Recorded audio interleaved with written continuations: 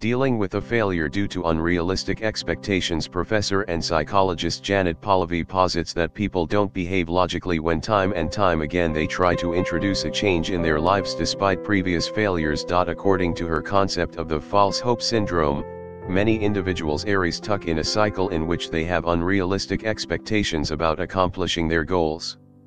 They tend to be wrong about the speed, amount, ease, and consequences of their attempts 16 they try, fail, brood over it, process it, and try again, but with the same unrealistic expectations, which guarantees yet another failure. Bob wants to lose 50 pounds as quickly as possible.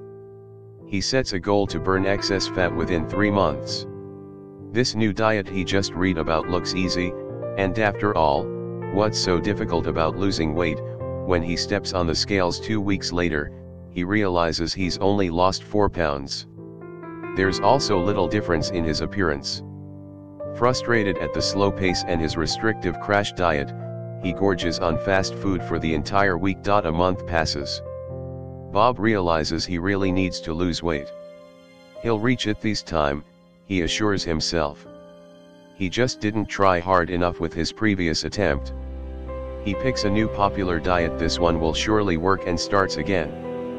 Three weeks later, Bob is seen filling his shopping cart with so much junk food that he can barely push the cart to the counter. This process repeats over and over again. After each failure, Bob rejects the notion that his approach is flawed.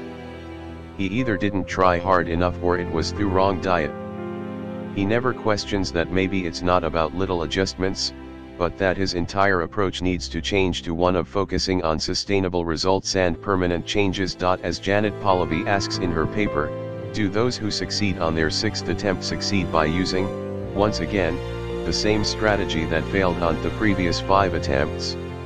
Or do those who succeed on the sixth attempt do so because they have adjusted their strategy to make it more realistic and therefore more likely to succeed?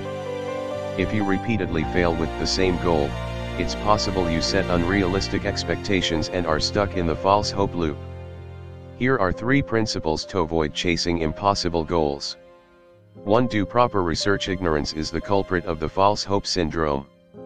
A person who wants to make a positive change in their life will exhibit overexcitement and a readiness to start as quickly as possible usually at the expense of doing proper research. Note that this usually happens to a person who doesn't know much about the goal they want to reach.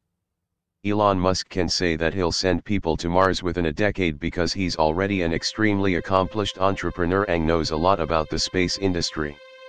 Your neighbor Joe is an unlikely space pioneer, unless he happens to be a billionaire astrophysicist. He would make a better start in the business world by building an e-commerce store or a landscaping company. To avoid failing due to unrealistic expectations, make sure to carefully research the feasibility of your goals. Can you really lose 10 pounds a week? Does an average entrepreneur build a six-figure business in six months? Has any world-class performer become one after a mere year of training?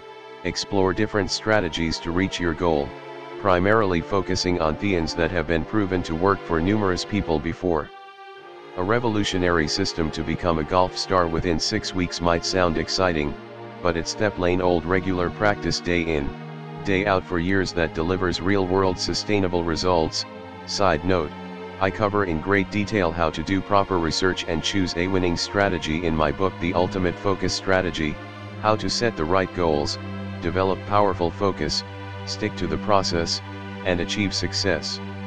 To be open to changing your approach if you've already failed a couple of times and want to try again, consider completely changing your approach, rather than trying the same approach again and expecting different results. Perhaps the approach you've taken isn't founded in healthy principles or doesn't work in your unique situation. When you close your mind to alternative approaches, you can get stuck in the failure loop forever.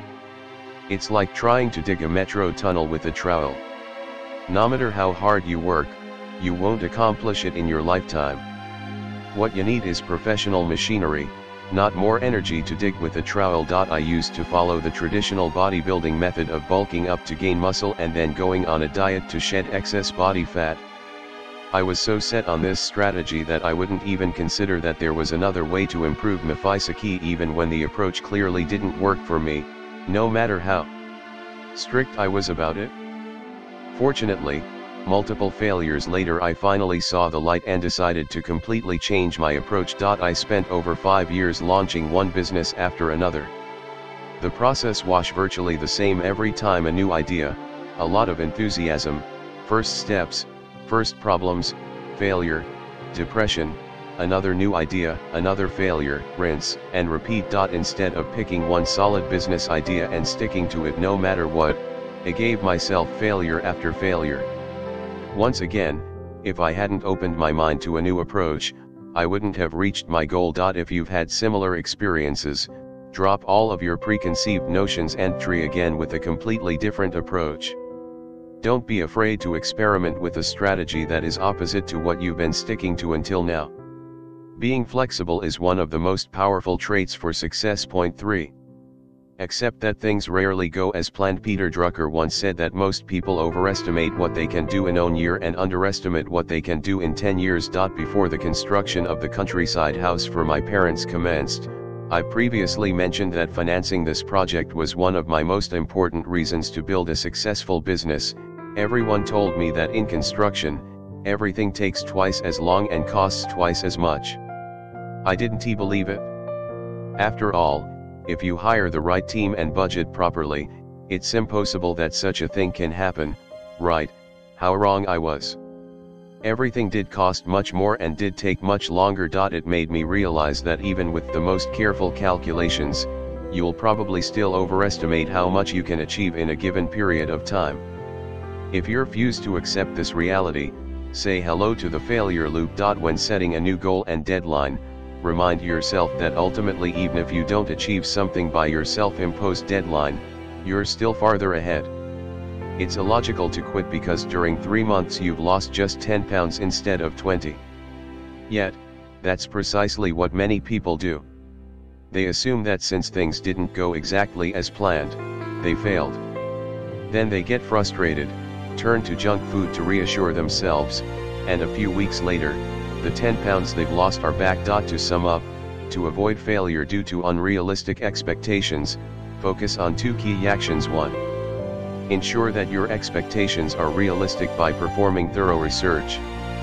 Putting on rose-colored glasses and living in the world of happy ignorance is not a good way to reach your goals. There'll be time for moonshot. Goals Once you become an expert and can accurately estimate the probability of reaching those big dreams. Point 2. Develop patience and accept that even if you're the greatest project manager in the world, you'll still fail to account for every surprise, delay, and setback. What's important isn't reaching the goal by a given deadline it's reaching the goal, period.